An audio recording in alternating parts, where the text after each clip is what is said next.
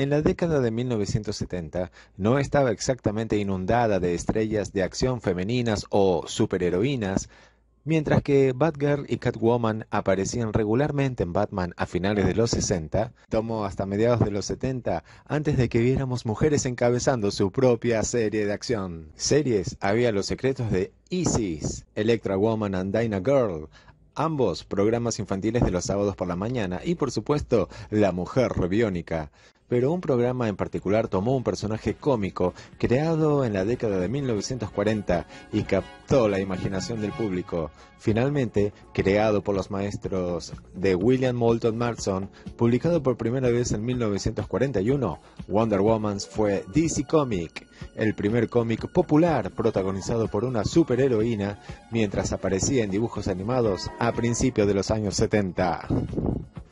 Las apariciones de acción en vivo eran limitadas a un cortometraje terrible y sin producir para una posible comedia de situación de finales de los 60 producida por las mismas personas que hicieron la serie de Batman.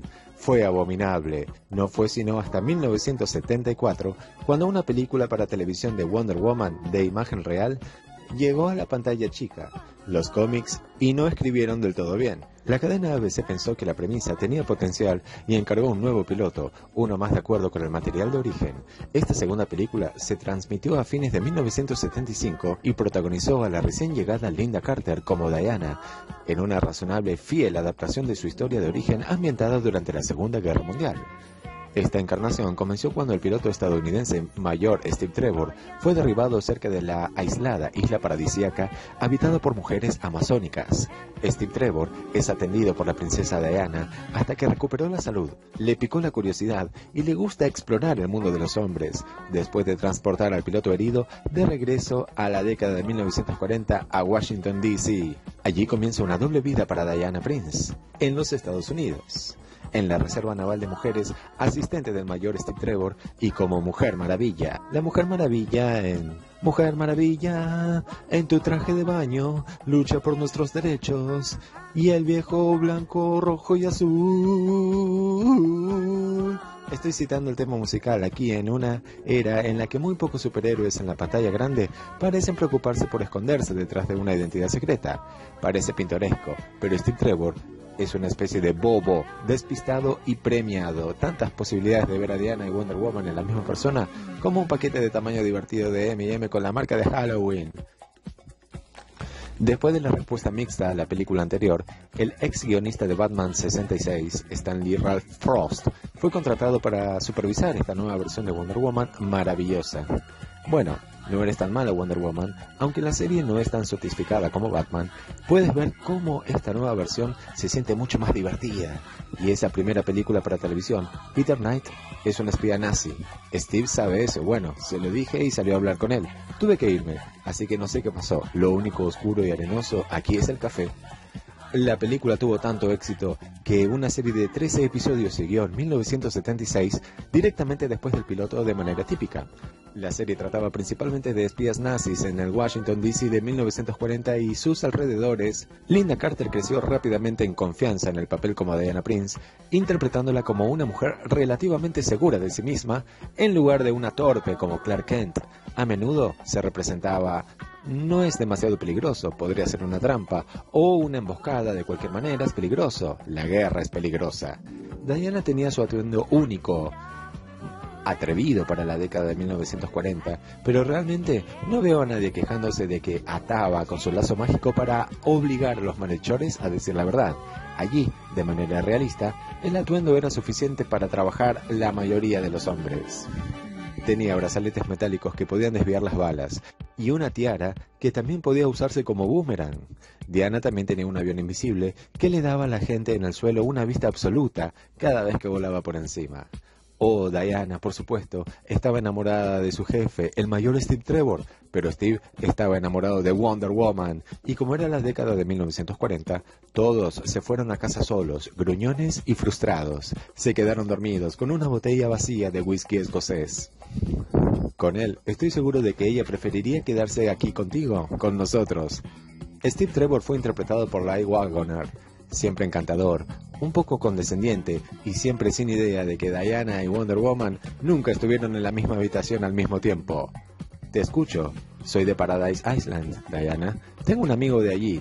Tal vez sepas dónde colocaremos este papel con la cantidad justa de ironía y mientras el programa es un drama de acción. Los productores nunca dejan que olvides el hecho de que el material de origen es un cómic. Durante la primera temporada, Diana se enfrenta a espías nazis, saboteadores nazis, simpatizantes nazis, simios nazis, los Brady nazis, una mujer maravilla nazi. De hecho, un montón de nazis, nazis, nazis, nazis. También conocimos a la hermana de Diana, Drusilla, también conocida como Wonder Girl, y por supuesto, el personaje secundario de Eta Candy. A menudo brindaba un alivio cómico en la década de 1970. Casi todos pasan tiempo felicitando a Wonder Woman por su apariencia, pero como este también era un programa familiar, rara vez aparece. El golpe, por otro lado, es que también rara vez sale con alguien Wonder Woman, ya que un programa es recordado por varias cosas, y ninguna de ellas rima con guiones convincentes. Son actuaciones increíbles, aparte del episodio que impulsa Smiths encanto y presencia física, una melodía maravillosamente única y por supuesto sus transformaciones de Diana a Wonder Woman. Al ver esta serie, puede ver qué elementos necesitaron tiempo para hacerlo bien, ya que las primeras transformaciones fueron solo secuencias de striptease en cámara lenta. Las calificaciones del programa fueron decentes, pero la cadena retrasó la decisión sobre la renovación y la cadena rival CBS o CBS hizo una jugada para el programa. La segunda temporada, ahora titulada Las nuevas aventuras de Wonder Woman, vio una remodelación bastante importante de la serie para su traslado a CBS.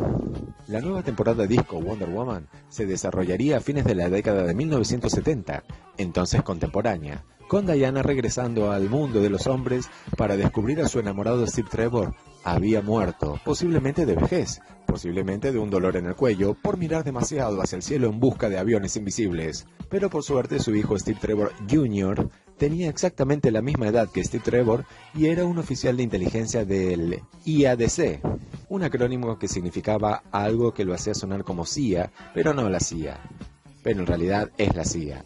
No hay organización, solo yo, la Mujer Maravilla, y como para la edad tendré 2527 años en mi próximo cumpleaños. Sí, a través de una serie de saltos de lógica, Diana también se convierte en un agente de la IADC, Agencia Gubernamental de Defensa, para poder estar cerca del hijo del hombre muerto del que estaba enamorada pero abandonó 35 años antes.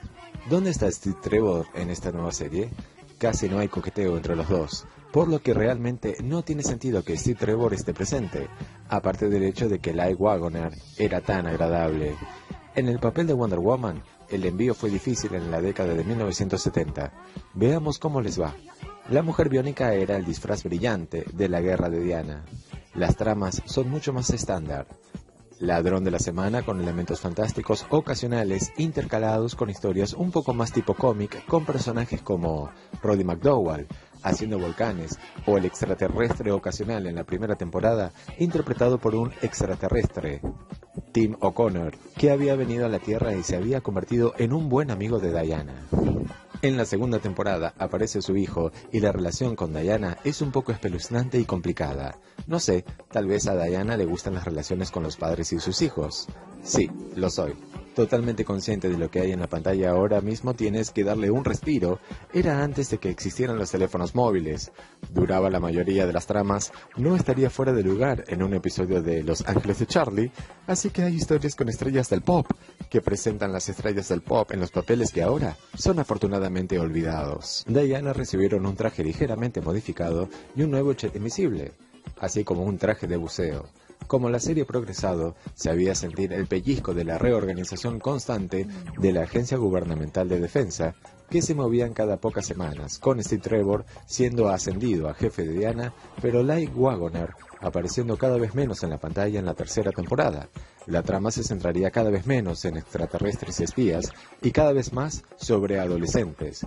El programa estaba recibiendo un pellizco aquí y otro allá, cada pocos episodios que culminaban en una configuración del último minuto. Para una posible cuarta temporada, Diana había sido transferida a la oficina de Los Ángeles, con un nuevo jefe más gruñón y un indestructible compañero de trabajo, con un compañero chimpancé inmortal y en medio de un establecimiento de máxima seguridad, un niño estafador. Entra de la calle como si fuera el dueño del lugar. Afortunadamente, ahí es donde terminó el espectáculo, porque no puedo decirte qué está pasando con esto. Después de tres temporadas, Wonder Woman colgó su capa de lentejuelas y voló en su jet invisible. Poco después del despegue, tres observadores de aviones cercanos fueron arrestados por indigencia grave por no leer nada de él. Pero Wonder Woman y Steve se atan mucho, a veces amordazan bastante. No, no estoy leyendo nada en eso. Para nada, no, no, no, señor, ni un poco, no bueno. Mucha acción en esta serie con acrobacias pioneras que doblan a una mujer como Jen Ippy y Kitty O'Neill, asumiendo todo tipo de secuencias de acción. Después de que la serie culmina, Linda Carter se retira para concentrarse en una carrera como cantante y en virtud de haber sido tan icónica, hacía la vida difícil para cualquier otra actriz considerada para el papel.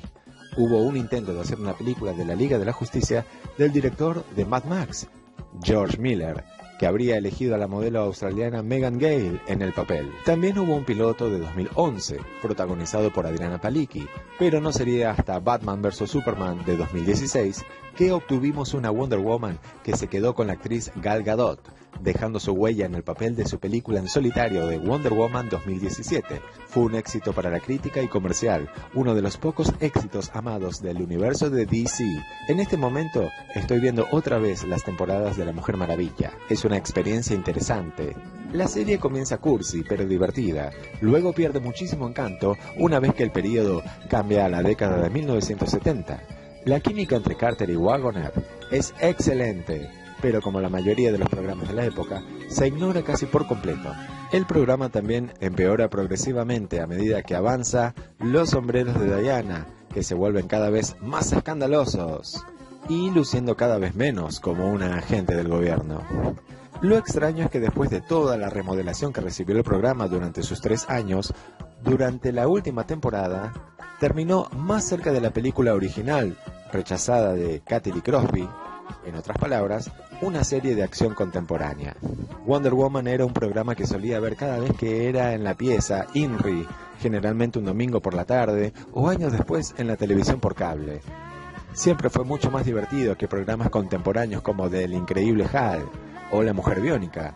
Si lo recuerdas de tu infancia, es algo con lo que te divertirás mucho, pero si nunca lo has visto antes, te diría que veas la primera temporada y veas si te gusta y si realmente la disfrutas, quiero que veas a Linda Carter tal vez en las dos últimas temporadas. La serie de Wonder Woman es un delicado equilibrio de tonterías venenosas que finalmente se equilibra y se convierte en un espectáculo policial estándar de los 70 con una mujer que ocasionalmente usaba un chip brillante para golpear a los ladrones. Eran las aventuras de Diana Prince y su alter ego Wonder Woman.